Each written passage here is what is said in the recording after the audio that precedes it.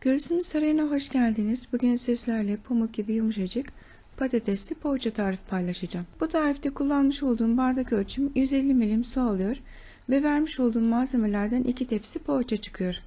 Kullandığım bardaklar büyük boy çay bardağı, küçük su bardağı ile eşit miktarda su alıyor.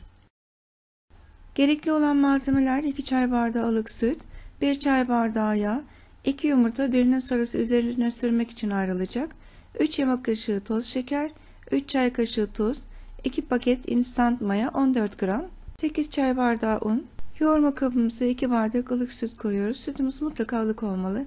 2 yemek kaşığı toz şeker, tuz, 2 pakette toz mayamızı ilave edip hepsini birlikte güzelce çırpıyoruz. Mayamızı çırparak sütün içerisine tamamen eritiyoruz ve 10 dakika bir kenarda bekletiyoruz. 1 bardak sıvı yağ, 1 bütün yumurta, bir yumurtanın da beyazını ilave ediyoruz. Sarısını da üzerine sürmek için kenara ayırıyoruz.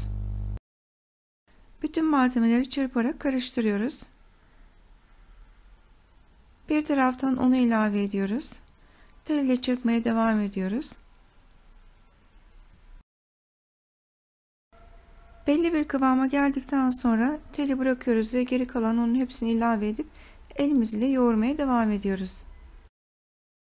Hamurumuzu bir 5 dakika kadar yoğuruyoruz. Üzerini streç folyo ile kapataraktan 1 saat kadar dinlenmesi için sıcak bir ortamda bekletiyoruz. Ve gördüğünüz gibi hamurumuz çok güzel bir şekilde kabardı. Elimizi yağlıyoruz ve hamurumuzun ilk havasını alıyoruz. Mandalina büyüklüğünde parça kopartıyoruz. Avucumuzun içerisinde yuvarlıyoruz.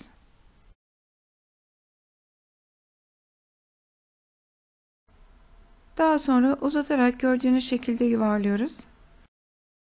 Yağlamış olduğumuz tahtanın üzerine koyarak önce yuvarlıyoruz. Daha sonra elimiz ile bastırtarak yassıltıyoruz. İç harcı için haşlanmış patatesin içerisine bir soğan doğradım. Kırmızı biber, karabiber ve tuzla tatlandırıp karıştırdım. Sizler istediğiniz harcı kullanabilirsiniz. İster kıymalı isterseniz beyaz peynirli de yapabilirsiniz. Hazırlamış olduğumuz patatesli harcımızı uzunlamasına ortasına koyuyoruz. Katlayarak uçlarını birleştiriyoruz. Açılmaması için öncelikle parmak uçları ile bastırtıyoruz ve içe doğru kıvırıyoruz. Uçlarını birleştirip kıvırmış olduğumuz kısmı alt kısma getirip gördüğünüz şekilde yuvarlıyoruz. Uç kısmını alta sıkıştırıyoruz. Hepsini aynı şekilde hazırladıktan sonra yağlamış veya da içerisine yağlı kağıt koymuş olduğumuz fırın tepsimize koyuyoruz. Üzerini temiz bez ile kapatıp 15 dakika bekletiyoruz. Daha önceden ayırmış olduğumuz yumurta sarısını çırpıyoruz ve fırça ile poğaçalarımızın üzerine sürüyoruz. Biraz da susam serpiştirdikten sonra önceden ısıtılmış 180 derece fırında poğaçalarımızın altı üstü kızarana kadar pişiriyoruz. Ve gördüğünüz gibi poğaçalarımız pişti ve muhteşem görünüyorlar. Poğaçalarımız yumuşacık ve nefis oldular. Deneyecek olanlara şimdiden afiyet olsun. Kalbinizden sevgi, ağzınızdan tat, mutfağınızın bereketi hiç eksik olmasın.